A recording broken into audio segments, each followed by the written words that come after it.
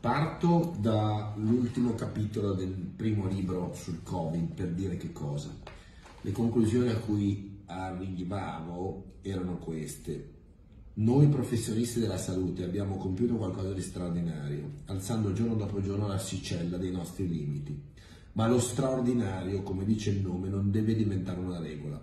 Solo così potremo dare giusto riscontro alle nostre rinunce, alle nostre fatiche e la giusta commemorazione che ci ha lasciato. Sono passati tre anni da quando tutto questo succedeva e dove siamo? Pronto soccorso dell'ospedale maggiore di Lodi, l'altro ieri sera, un signore da incandescenza, un signore quarantenne, e sfascia tutto il pronto soccorso mettendo, provocando 50.000 euro di danni, mettendo evidentemente eh, tutte le persone pazienti, ma soprattutto i sanitari che erano in pronto soccorso in grande difficoltà, eh, in, eh, con, con grande paura. Com'è possibile che tutto questo succeda in questo paese?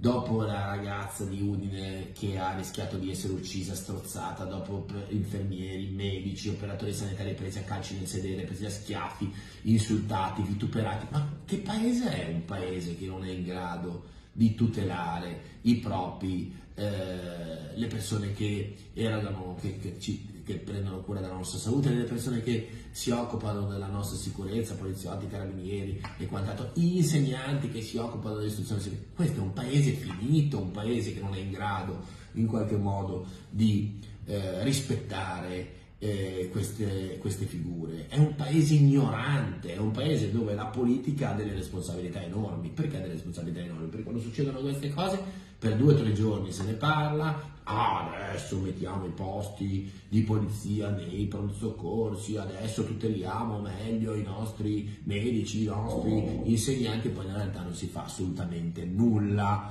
Quindi c'è una responsabilità enorme anche da parte della politica se siamo in questa situazione perché non ha nessun interesse a tutelare i sanitari e tutelarci. Dopo tutto quello che hanno fatto i sanitari eh, nella pandemia, essere lasciati soli è veramente molto molto molto triste. E le, la situazione andrà sempre peggio andremo sempre peggiorando vedrete ne avremo sempre di più perché la gente non ha nessun rispetto di questo lavoro non ha nessun rispetto del camice non ha nessun rispetto della divisa non ha nessun rispetto degli insegnanti non ha nessun rispetto perché viviamo in un paese profondamente ignorante dove evidentemente la politica eh, non fa nulla per eh, dare un maggior rispetto, una maggior credibilità anche ai nostri lavori, ai nostri mestieri. Quindi dobbiamo dire no a queste violenze. Io spero mi auguro che eh, le cose cambino e che si voglia riparlare di questi problemi anche in maniera diversa.